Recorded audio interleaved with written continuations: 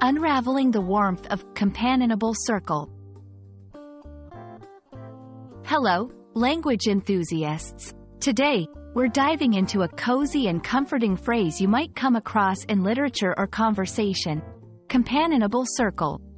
This phrase paints a vivid picture of social warmth and togetherness, and we're here to unwrap its layers. Whether you're learning English or just love exploring the nuances of language, this discussion is for you. Let's explore together what makes a companionable circle so special and heartwarming. Before we delve into the full phrase, it's crucial to grasp the meaning of companionable. This adjective describes someone or something that is friendly, sociable, and easy to get along with. When we say a person is companionable, we mean they're pleasant to spend time with, someone who brings comfort and ease to social interactions. It's about the warmth and friendliness that makes you feel at home. Moving on to circle, in this context, it doesn't refer to the geometric shape. Instead, it symbolizes a group of people with common interests, goals, or friendship gathered together. A circle here represents unity, inclusiveness, and collective comfort. When we talk about a circle in a social sense, it's about the bonds that tie people together, creating a sense of belonging and community.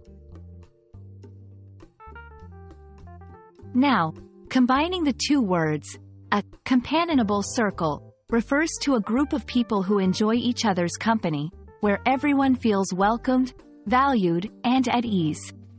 It's not just any gathering of individuals. It's about a shared sense of warmth, understanding, and friendship. This phrase beautifully captures the essence of human connection and the comfort of being among friends or like-minded individuals where you can be yourself without any reservations. The phrase, companionable circle, is often used in literature to evoke a sense of belonging and warmth among characters.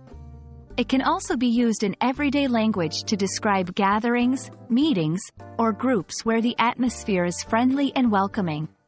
Whether it's a family reunion, a gathering of old friends, or a club meeting, if the vibe is warm and the company is pleasant, you're in a companionable circle. Understanding phrases like companionable circle enriches our language learning journey offering deeper insights into how words can paint vivid pictures of human experiences. We hope this exploration has added a new layer to your understanding of English and inspired you to find your own companionable circles. Remember, language is not just about grammar and vocabulary, it's about connecting with others and sharing experiences. Thank you for joining us, and may your language learning journey be as rewarding and enriching as a companionable circle.